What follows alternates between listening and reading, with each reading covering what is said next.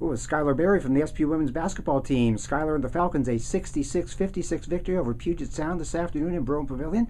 Schuyler, kind of a strange game with huge scoring runs, a couple big ones for SPU, a big one for UPS. Just kind of talk about the game and how it played out this afternoon.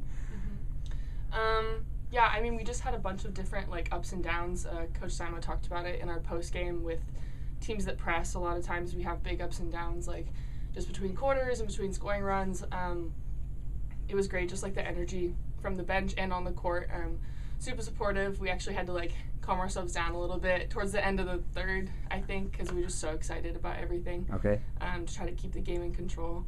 Um, but yeah, it was super fun. Um, great energy, like in our pregame, at halftime. Um, just a great game all around. Okay.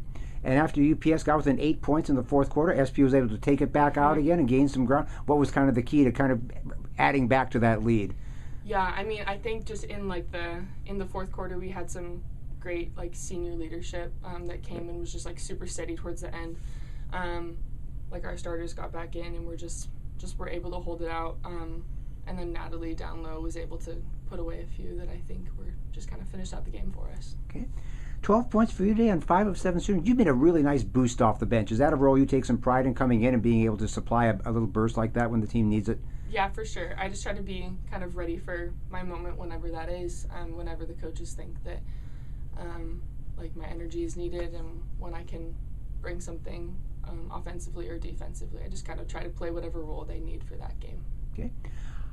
Last non-conference game of the season. How important was it to get the win today? Now heading into the GNAC schedule after the holiday break. Yeah, I think this game was a great preparation game for us going into Anchorage right after Christmas. Um, I think we needed that win to kind of give us more uh, momentum going into the regular season. Um, and I think just with um, the way that this team pressed, uh, it was a great preparation for Anchorage. You, you know Anchorage is going to come out and do ex- Oh, yeah, exactly sure. that. Yep, yep. All right. sure.